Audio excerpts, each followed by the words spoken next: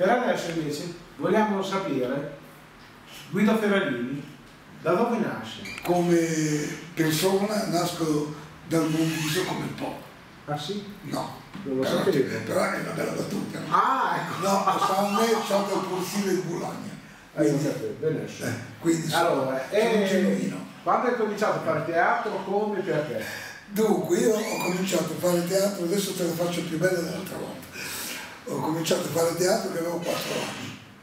Quattro anni. La mia prima rappresentazione, scritta, diretta e interpretata, è stata a 4 anni. Scritta si fa per dire, insomma, comunque inventata, è stata a 4 anni, con degli altri bambini piccoli. Si vede che il seme era stato, era stato in, in qualche modo iniettato.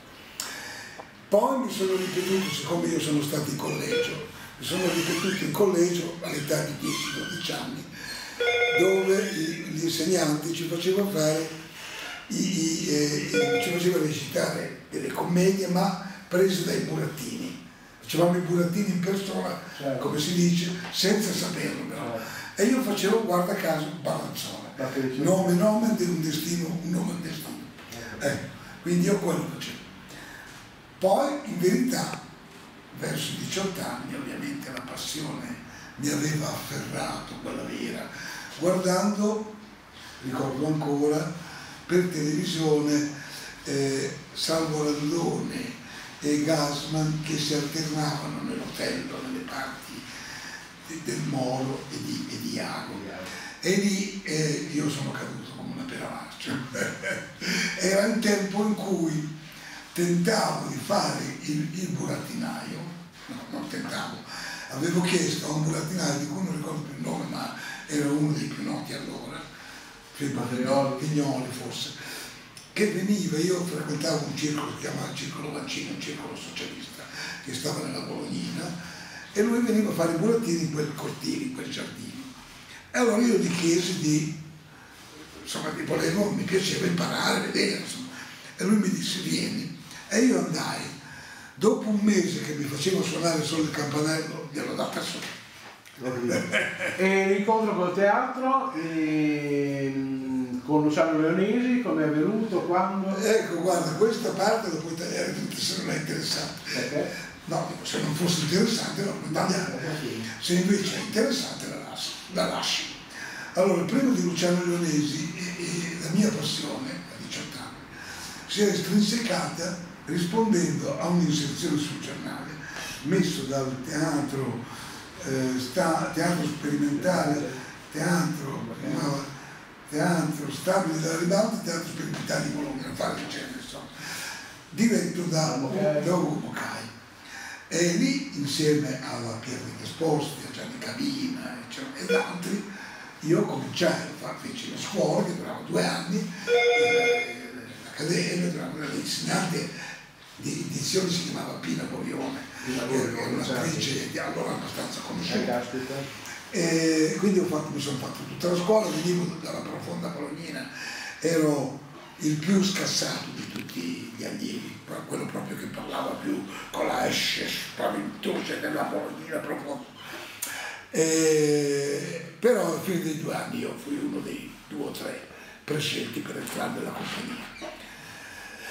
E quindi sono stato con Boccai due anni, ho fatto 3-4 cose, tra cui anche Ti ricordi ancora cosa? sì, mi ricordo, ho fatto, ho fatto Quali e tanti di Roberto Mazzocco, c'era anche Mario Cobellini, il, il- il giornalista alla RAI, insomma, che, che allora non faceva ancora ovviamente il giornalista, eh, con Cocchi, no, Cocchi con un certo Ponzoni, che era il primo attore, io ero degli attori giovani, insomma. E poi ho fatto, eh, ho fatto Le ragazze di Viterbo di Punteraic, pochi lo ricorderanno, era un dramma radiofonico, si svolgeva nelle catacombe di Viterbo e io facevo, guarda caso pur essendo giovanissimo, facevo l'insegnante accompagnatore delle ragazze che si perdevano in questi cunicoli delle catacombe.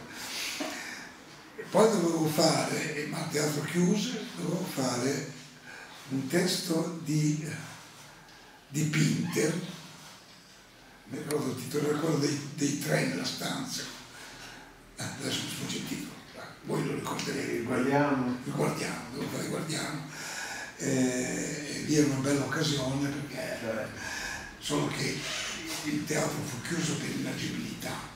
E la mia carriera di attore professionista guadagnavo 10.000 lire al mese, 10.000 lire, eh, no, 10.000 euro, 10.000 lire al mese e, e mi avviavo una splendida carriera quando insomma, i pompieri chiusero il teatro. E la mia esperienza finì lì, però fui fortunato perché ai tempi noi giovani eravamo tutti ideologicizzati al 100%, io tra quelli, e, e- e quindi sentivo la necessità di fare un teatro politico, un teatro che avesse un intervento potente insomma, nella società per dire quello che volevamo dire, per cercare di contribuire a un cambiamento, ci illudavamo allora che la società si potesse cambiare, eravamo giovani, tutti giovani pensano così ed è giusto che pensino così. Come si dice, si nasce incendiare, si finisce pompiere. Certo. Io sono finito pompiere come tutti gli altri. Perché non ne hanno fatto un'eccezione, No, non c'è stata no.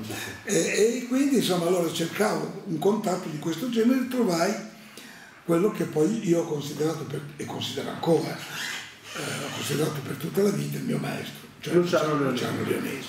In che maniera, in che modo l'hai incontrato? Allora, Luciano Leonesi, qui bisogna dire Laura perché ci facciamo la profonda volontà. C'è anche un libro però forse. Ce ne sono tre, uno sul GTV, sì. Eh sì, forse, forse si parla anche di quello. Eh, ehm, Luciano Leonesi, allora, eh, dico- perché dico settimana prossima? Perché questo gruppo teatrale aveva tutte altre caratteristiche. Prevedeva che gli attori fossero dei dilettanti, cioè era la condizione sine qua non, cioè, perché il professionista non, sarebbe mai- non si sarebbe mai adattato a fare un teatro di servizio. Certo. Lì veniva prima quello che facevi e che dicevi e poi il fatto di essere attore.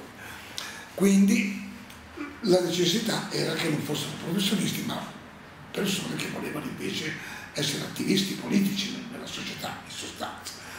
Una parte attiva, diciamo. La parte attiva, questo a me interessava molto, era il momento in cui avevo 21 anni, 22, 23, insomma, a partire da lì, più o meno quell'età lì, mi interessava molto questo aspetto e, e- e quindi andai io a cercare Luciano Luisi, perché mi, mi avevano informato, eccetera, eh, e quindi andai a. E Luciano Leonesi allora, pur essendo stato già col teatro di massa, di cui adesso non parlo perché diventerebbe Sì, lunghissimo, comunque la sua prima esperienza a 21 anni, eh, poi uscito, eh, cessata quell'esperienza, aveva fondato il GTV, ma pur venendo lì era un puro dilettante anche lui, pur essendo stato, doveva essere un allievo di Visconti, perché il partito ah, mandava alcuni ragazzi giovani a scuola Visconti a Firenze e lui doveva essere uno di quelli, poi piano tramutò, però per dirti quale carriera aveva- avrebbe avuto davanti Luciano Leonesi Certo. ma invece lui era un puro dilettante, quindi lavorava al mercato ortofloro-frutticolo. E io lo faceva, allora dopo fu impiegato, ma al tempo in cui lo conobbi lui era ancora usciere del mercato, per cui io lo conobbi all'ingresso del mercato ortofloro-frutticolo nel baracchino che c'era per il custode. Vogliamo dire qual era la caratteristica per chi non lo sapesse o non se lo ricordasse più, il gruppo teatrale viaggiante? Cioè qual era lo statuto? Un po' più dello statuto. Qual era il fine? Quello di portare il teatro, Sì, vero? Posto. sì, quello di portare il teatro Dove? in tutti i luoghi dei lavoratori, tutti Tu ritieni che adesso, che siamo forse all'anno zero, non sarebbe necessario anche farlo anche adesso? Beh, ti dirò che noi ci abbiamo provato con Luciano, perché Luciano è vivente, ha 86 anni, ma è ancora vivo e vegeto e attivo. Ci abbiamo provato perché c'è un'associazione che si chiama, non mi ricordo più, che gestisce tutte le case del popolo. Cioè quando il partito si è diviso, si è- eh, le case del popolo, tutti i beni del partito comunista, sono state messe dentro una fondazione. Quindi questa fondazione ha l'uso e la proprietà anche di tutte di una serie di case del popolo che sono morte in Emilia Romagna Sì, erano credo siano credo. eh? tu parti un sito immobiliare, immobiliare. Sì. E, e, quindi sono molti e vorrebbero, come posso dire, riportarlo un po' certo. all'uso primigenio, no? E allora cosa hanno fatto? Hanno chiamato Luciano Ramesi, chiaramente, perché Luciano Ramesi è uno dei più esperti. Quindi noi abbiamo fatto anche delle proposte per l'oggi.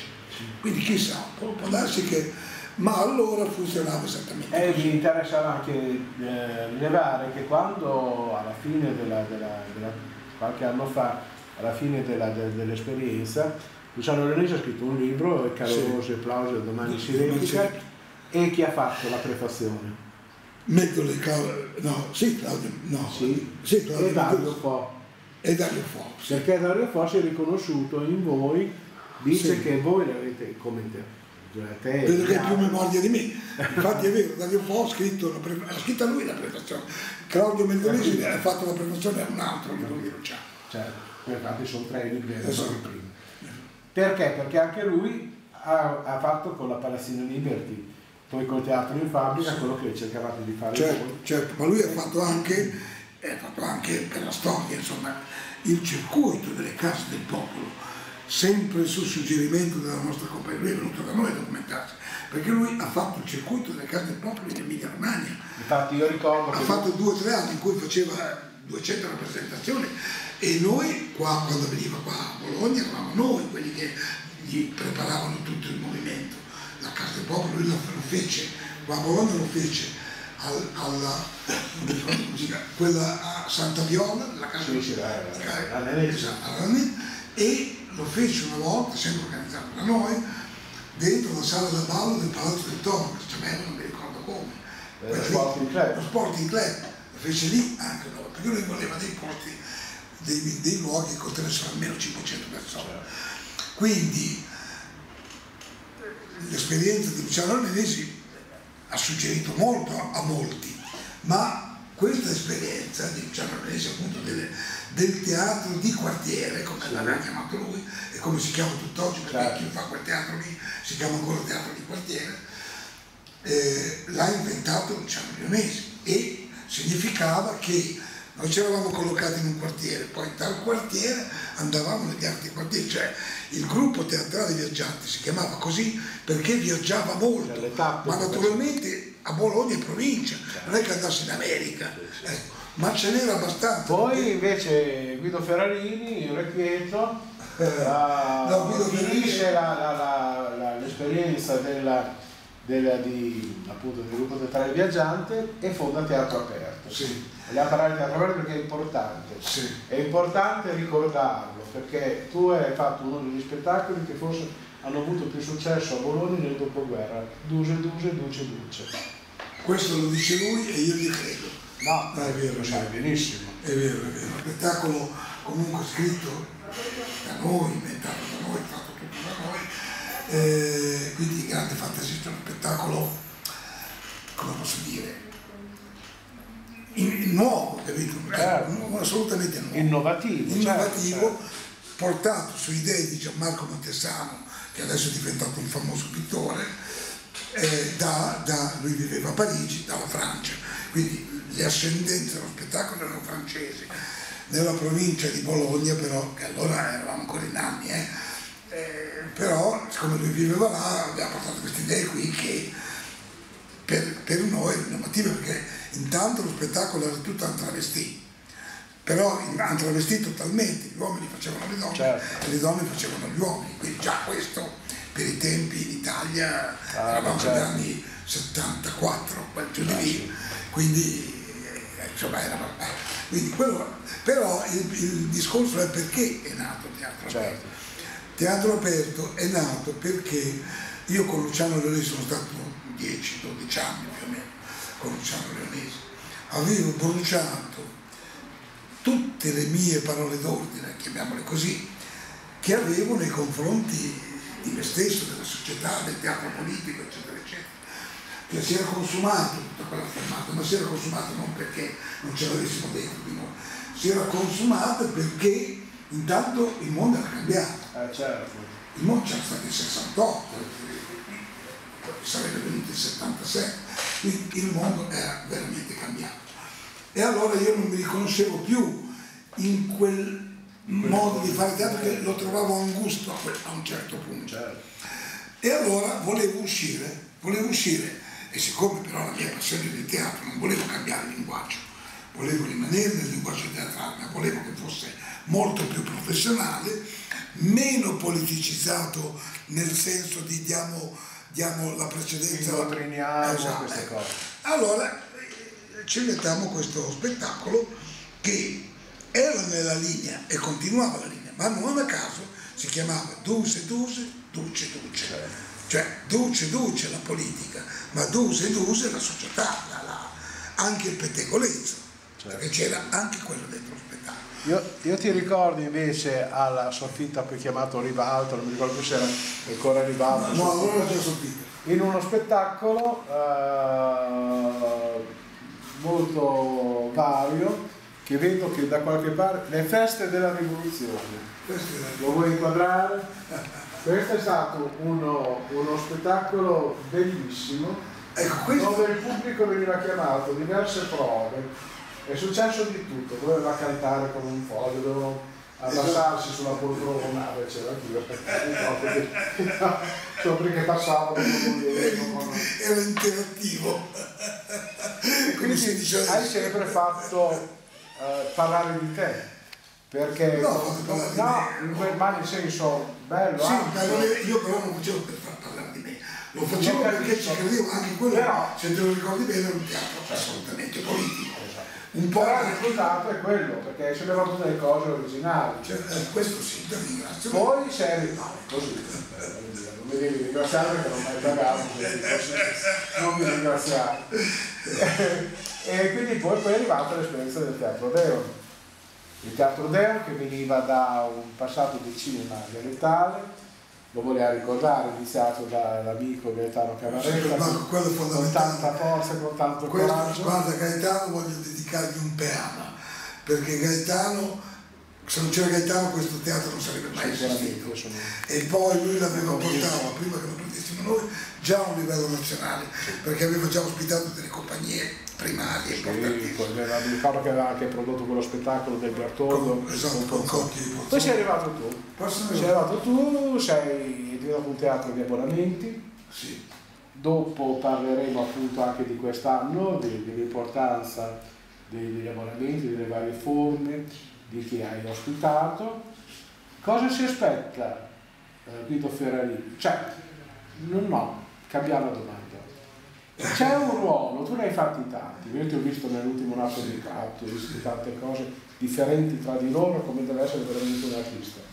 Però eh, un personaggio che non sei ancora riuscito a fare no, e eh, che vorresti fare. Allora, il personaggio che voglio fare io, che volevo fare io, allora guarda, quando ho cominciato questa avventura, io non parlo quando avevo 18 anni, ma quando avevo la mia compagnia, io ho fatto, ho fatto, un elenco di spettacoli che avrei voluto fare. e qual è quello che manca dall'elenco? Li ho fatti tutti. Ah, solo. Aspetta, no, eh, no, ne mancano due. Cioè? Mancano La Tempesta e... Eh, come si chiama? Oh, La Tempesta Relio. Questi sono i due spettacoli che mi mancano, perché questi saranno i miei ultimi due, non perché muoio, eh, ma perché mi ritiro dalla scena, saranno i miei ultimi due spettacoli. Posso fare una previsione? Sì. Ci sono nuova palla di vetro, eh. ti ritiri? Quanto mai? Comunque diciamo che, non so se mi ritiro, forse no, eh, comunque diciamo, diciamo la mia, diciamo la mia, diciamo la mia. Nel, nella previsione, quando penserò che forse mi ritirerò, ma insomma quando eh, sei già abbastanza maturo da poter dire vabbè faccio anche un discorso conclusivo insomma no? e parlando del relè mi fa venire in mente una cosa meravigliosa che ho visto come tutte le cose belle con pochissimo pubblico purtroppo qualche anno fa Gianni Galavotti sì. che me l'ha, me l'ha fatto ricordare in una, in una chiacchierata l'amico Giulio Pistirani e che fece Minetti sì? Minetti, eh, che era la commedia di questa, la tragedia di questo vecchio attore che sì. tu sai meglio di me. Sì. Ho, visto, ho visto il festival di Parma. Hai visto qua alla, alla E lui è, mm, essendo contrario al nazionalsocialismo, fu messo da parte, non volle fuggire dalla Germania, per cui fece la fame, fece piccole parti. E quando il suo sogno era fare il re quando è andato giù il, il nazismo, era troppo vecchio per farlo. E c'era questa commedia un po' ce l'hai vista, con maniclonica, con Gianni Garabotti, grandissimo attore, soprattutto particolarissimo, un attore che non somigliava a nessuno. No. Bene, allora adesso se ci seguite noi passiamo di là e vi parleremo che cosa ci ha cucinato Guido, Prospero Guido Ferrarino per quest'anno. Prospero suona bene perché Prospero è anche Lambertini. È vero, che non è da dimenticare, è da decenni il, il nostro cardinale Lambertini. Esatto. E ci sarà ancora un pezzo. Ci uscirà grande per me. Chi ha detto qualcosa, mai fuori dei limiti.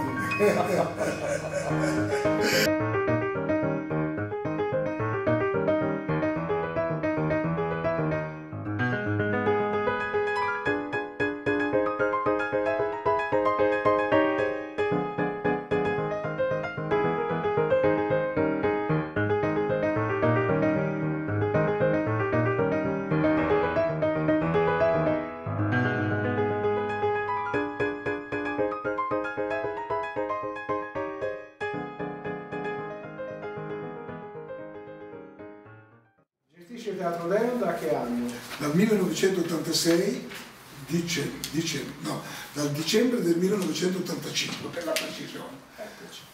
Quindi quest'anno siamo alle, Al trentesimo anniversario. Invece siamo alla vigilia della stagione. Ci, vuoi, vigilia ci vuoi parlare un po' di questa stagione? Sì, voglio parlare della stagione, cari amici.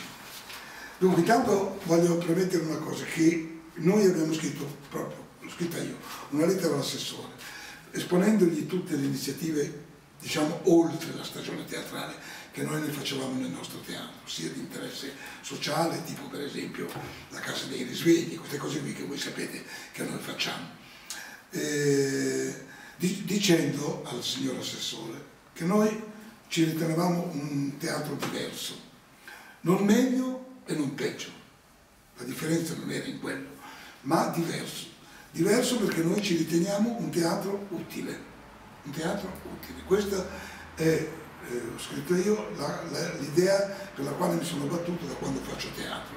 Li porterò avanti finché riuscirò a farlo. Un teatro utile, cioè un teatro inserito nella società che serva alla società, che la faccia divertire, che la faccia pensare, che la faccia piangere, insomma, che faccia tutti gli effetti che il teatro fa, ma che sia utile. Quindi deve interessarsi ovviamente anche dei problemi della società, tra cui i disagi vari, eccetera, eccetera, che tutti sanno ormai, perché sono anni che facciamo così, eh, che noi ci occupiamo anche di queste cose, sia favorendo, sia agevolando, sia partecipando, eccetera, eccetera. Questa è una caratteristica che ci tengo a dichiarare, perché a Bologna ci sono tanti teatri, chi va peggio, chi va meglio, chi chiude, chi apre, ma la caratteristica che abbiamo noi non le ha nessuno, noi non abbiamo quelli che hanno gli altri, ma gli altri non hanno quelle che abbiamo noi. E la tua, adesso, e la tua stagione? e adesso Eh, eh, poi parliamo della nostra stagione.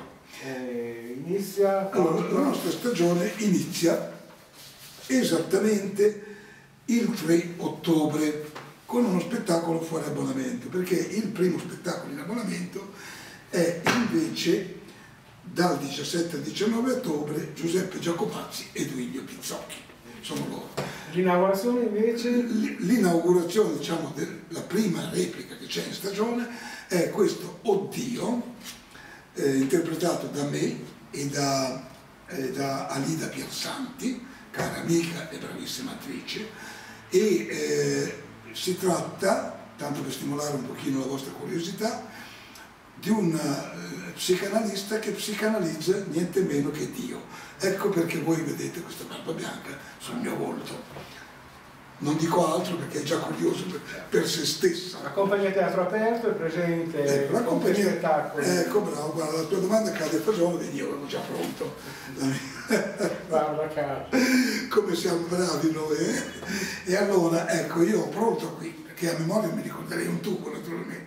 Ma io posso leggere e ho questo dono e allora vado a leggere le nuove nostre produzioni quest'anno. Sono appunto questo Oddio con la regia di mio figlio Piero Ferrarini e l'interpretazione di due attori io, Guido Ferrarini, la parte di Dio e eh, Alida Piersante la parte della psicanalista.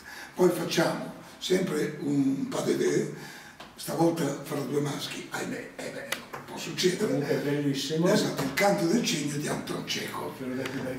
Esatto, qui eh, noi abbiamo un pochino interpolato con alcune cose, cioè, eh, ho messo dentro qualche ricordo mio di teatro, qualcosa che mi ha fatto piangere in un certo punto della mia vita. E allora mi piaceva metterlo lì perché quello contiene queste cose, insomma, sembrava adatto. Ecco.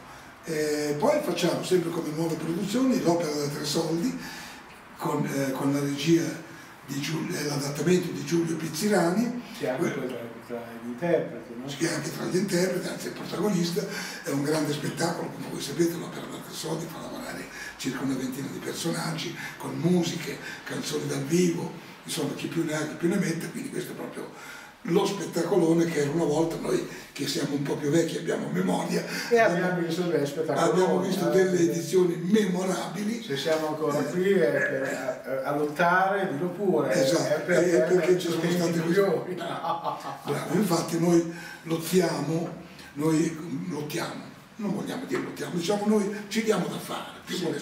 ci diamo da fare perché il teatro rimanga il teatro non diventi qualche cosa che non è più teatro, che si trasformi in noiosissimi racconti. Oppure che comunque vengono usati solo dei divi della televisione per richiamare un pubblico troppo distratto. Troppo distratto, troppo poco partecipe, ecco perché dico un teatro utile, che è un teatro utile, è un teatro che sta al centro della società, mentre oggi il teatro è completamente a lato, dimenticato, eh, poi, quello che, poi quello che fa male è che quando si parla di teatro si parla o di un'occasione mondana o di una cosa noiosa. Esatto. Perché? Perché anche la televisione che ha fatto negli anni 50-60 un'azione propedeutica non ti invoglia più. No, anzi, eh? quando cerca di invogliarti ti respinge. Nei giornali, ammesso che qualcuno li legga ancora, è sparita la critica teatrale. Bravo. Per cui non, non, si sa che cosa fanno, vedi dei titoli. Esatto. Carollo non è sparito, è dietro alla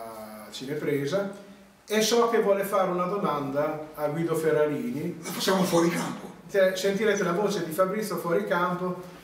Cosa le volevi chiedere a Fabrizio, a, Fabrizio, a Guido? Sì, io volevo fare questa domanda, cioè il rapporto che adesso c'è tra i giovani e il teatro, sia come pubblico che come avvicina, avvicinarsi alla recitazione, al teatro. Che, che rapporto c'è adesso? Sono qua. Non c'è nessuno meglio di me approfondito in questa tipo di domanda. Allora, partiamo dalle statistiche. Allora, eh, che io ho fatto già, eh, diciamo empiriche me le ho fatte. Allora, su 10 ragazzi, 7 non sanno proprio che cos'è la parola, la parola teatro. Cioè, la parola teatro, non il teatro, ma proprio la parola. 3 a malapena qualche volta forse una cosa. E uno, perché uno c'è sempre, eh. Meno male. Allora, quell'uno frequente sa meglio che cos'è il teatro. Questo è un po' nuovo. Invece, per quanto riguarda la voglia di fare teatro, è altissima. Cioè, le scuole sono tutte piene di ragazzi che vogliono fare teatro. Il guaio è che è un desiderio assolutamente superficiale. Cioè noi, allora, ai miei tempi per diventare un attore maturo bisognava avere 40 anni se avevi cominciato a 19. Adesso un ragazzo che ha 19 anni vuole fare il protagonista, eh, che non è così semplice, insomma, fare, fare l'attore richiede... E questo secondo te non è anche perché forse la nostra società va verso a, a, una, a prediligere l'apparenza? Certo, è solo per quello. Cioè adesso i ragazzi vogliono apparire, io invece dico che bisogna essere, eh, ma purtroppo questo essere... È sempre famoso, esatto, avere, essere, essere, essere esatto, che noi da tanti anni dibattiamo, ma che è stato sconfitto perché ha vinto invece nel libro non era così, doveva vincere essere, ma ha vinto purtroppo avere. Non è colpa mia, non è colpa tua, è colpa forse del, del malcostume di oggi. Comunque non è indenne da questa responsabilità la televisione. No, Fatto no. sta che i ragazzi... È lo specchio poi della società. è lo specchio dello società. Fatto sta che i ragazzi oggi non vanno a teatro, soprattutto per quelli che sanno che cos'è il teatro, perché lo ritengono assolutamente noioso. Salvo venire ai nostri spettacoli, quando capita, e dire ma io non credevo che il teatro fosse così. Questa domanda me la sono sentita, o questa affermazione me la sono sentita rivolgere mille volte. Ma io non credevo che... E come credevi che fosse? Ah, ma io pensavo che fosse noioso. Eh sì, noioso.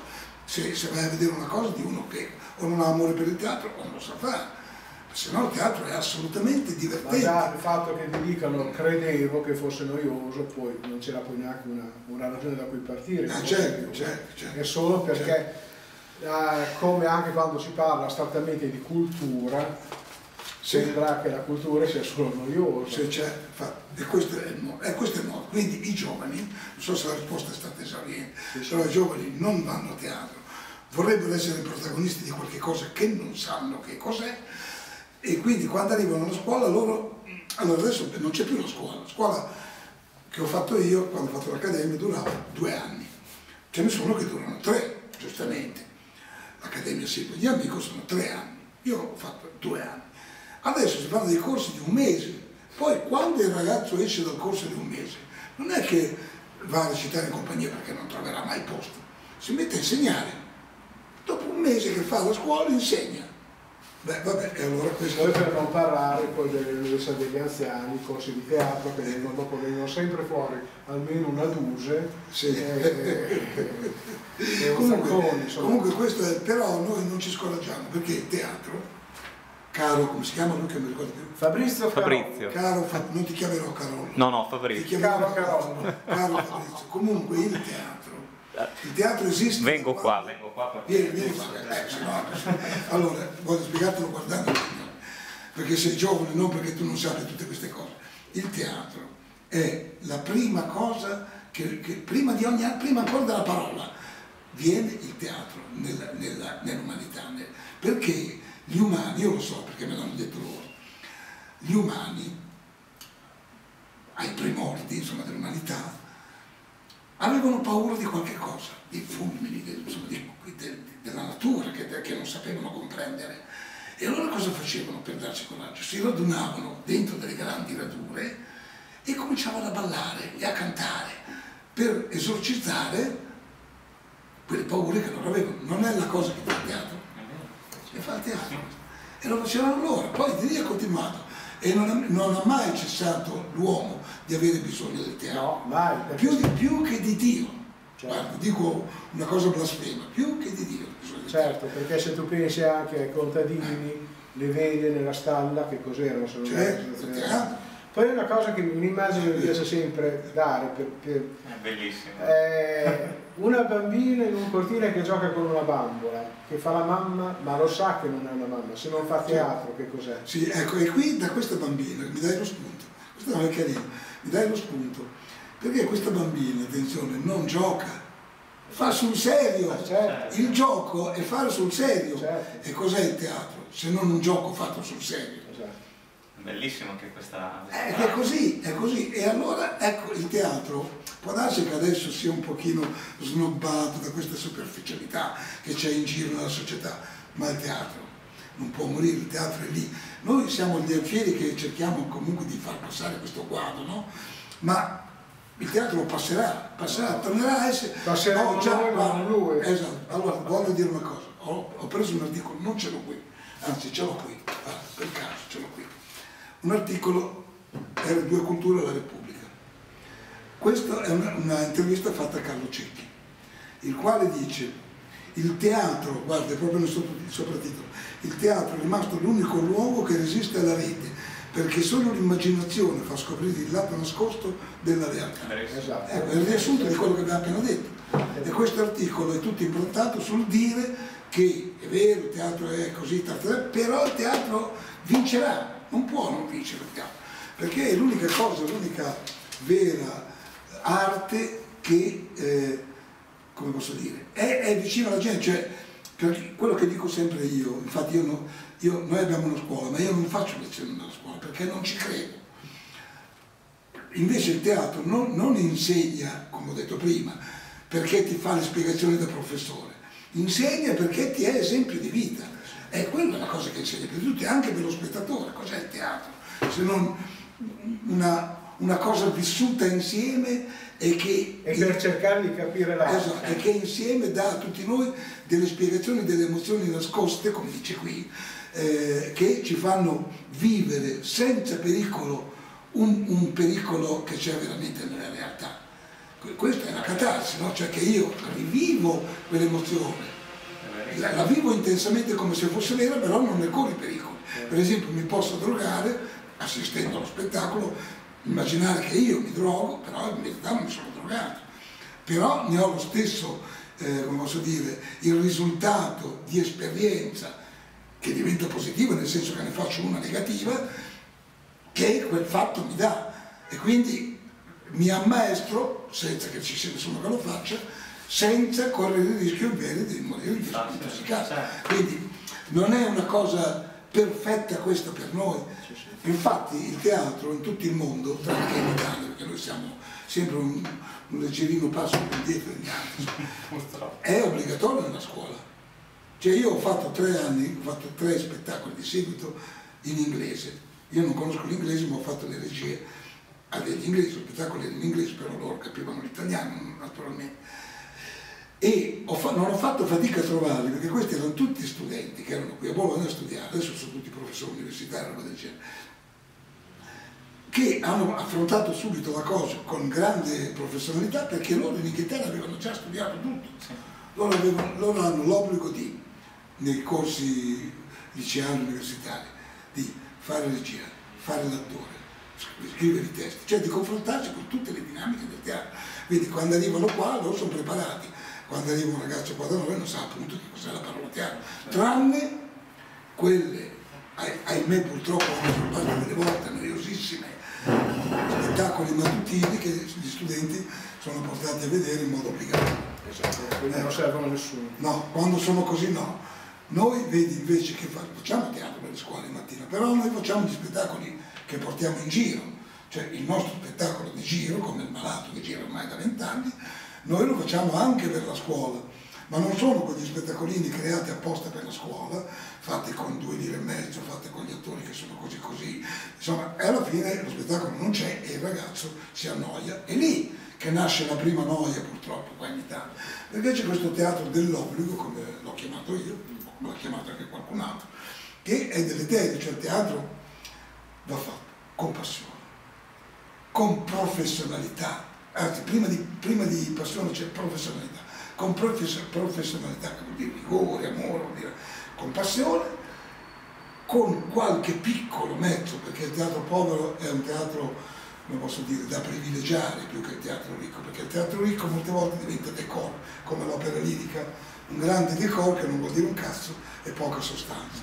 Invece il teatro deve essere, se ci vuole, anche il decor, perché il corpo può sostenere anche l'azione. Ci deve essere ostentazione. Esatto, cioè deve essere utile ancora una volta, perché utile è una bella parola, utile all'azione, allora diventa giusto. Se è inutile all'azione, buttalo via, che non serve a niente. Quindi eh, allora, bisogna che il teatro venga fatto in questo modo, per quello che io e lui che abbiamo visto il teatro con la T maiuscola, oggi ci lamentiamo un po', perché oggi vedere uno spettacolo teatrale come li abbiamo visti noi, se non per rimpiangere i vecchi tempi, ma perché il teatro veniva fatto in un altro modo.